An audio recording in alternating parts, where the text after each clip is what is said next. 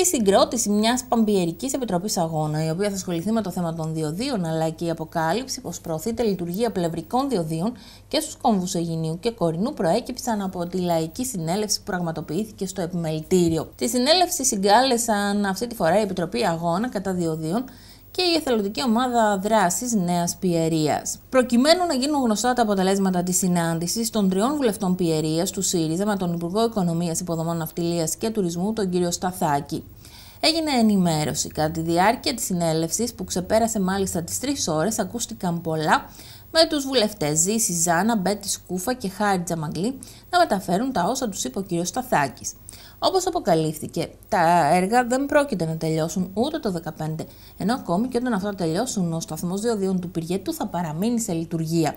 Αναλύθηκαν επίσης από τους τοπικούς βουλευτές οι στόχοι αυτής της πολιτικής που είναι τρεις: η αναθεώρηση των συμβάσεων, η καθιέρωση ηλεκτρονικών ε, διοδίων. Και βέβαια, όπως ε, τονίστηκε χαρακτηριστικά, θα σας πω κάτι δυσάρεστο και ρεαλιστικό. Ο κύριος Σταθάκης άφησε να εννοηθεί πως ακόμη και για να πιεστούν οι εταιρείες να χαμηλώσουν τις τιμές στα διόδια, θα πρέπει το ελληνικό δημόσιο να προβεί σε δύο υποχωρήσεις. Η μία θα είναι η παράταση του χρόνου ισχύως των συμβάσεων και η δεύτερη να μειωθούν τα ποσοστά κέρδους του ελληνικού κράτους.